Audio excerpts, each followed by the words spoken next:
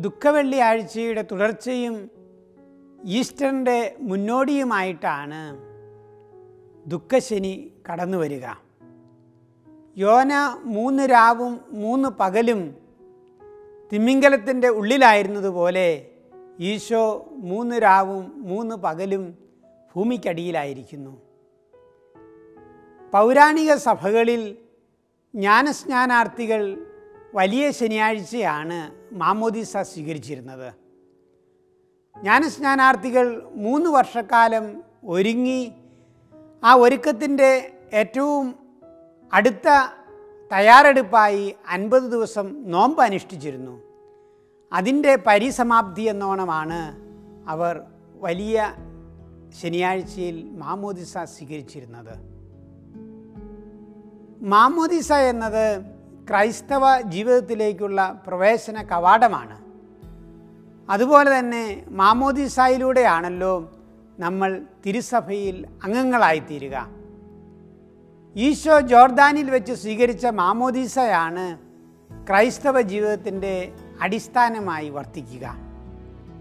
മാമോദീസായിലൂടെ നമുക്ക് മഹത്വത്തിന്റെ വസ്ത്രം ലഭിക്കുന്നു.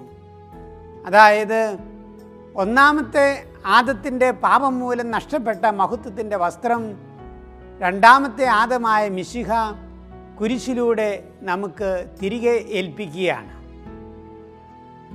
മാമോദീസ എന്നത് ക്രിസ്തുവിന്റെ മരണത്തിലും ഉത്ഥാനത്തിലുമുള്ള പങ്കുചേരലാണെന്ന് പൗലോസ്ലിഹ നമ്മളെ ഓർപ്പിക്കുന്നു.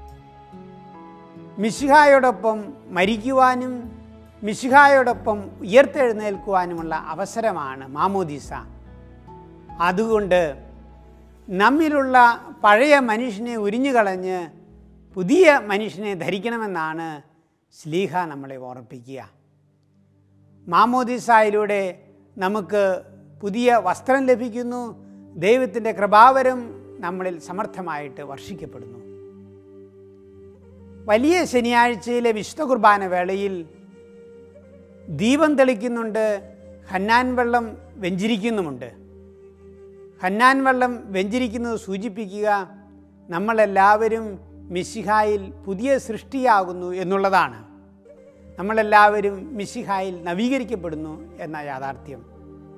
അതേസമയം ദീപം തെളിക്കുന്നതാകട്ടെ ഈശോ മിശിഹ ലോകത്തിന്റെ പ്രകാശമാകുന്നു എന്ന സത്യം വെളിപ്പെടുത്തുവാൻ വേണ്ടിയാണ്.